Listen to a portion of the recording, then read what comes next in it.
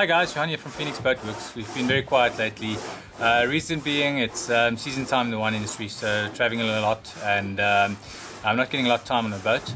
And the time that I do get, uh, work on a boat, so there's no time left actually to edit the movies.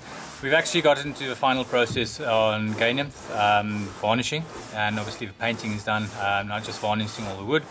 And we have a little help in there. Um, he likes to play in the boat while I'm doing things that's that's not um, hazardous to him, like um, sanding or anything. So yeah, just um, taping up a few pieces on the boat um, before I do another coat of varnish. We've already done one coat and um, rubbed that down with a 180 grit, and um, we're applying the second coat now, and I'm going ahead. Um, we'll keep you updated on our Instagram account and um, our Facebook page as well on our progress on the Nymph.